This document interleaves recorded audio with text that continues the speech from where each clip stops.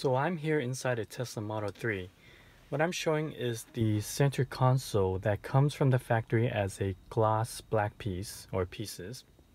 What we did for this customer is protect it with a satin paint protection film with self-healing properties.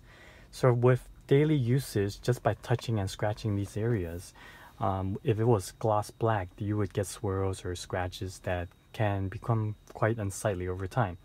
So this customer decided to protect it with this satin paint protection film.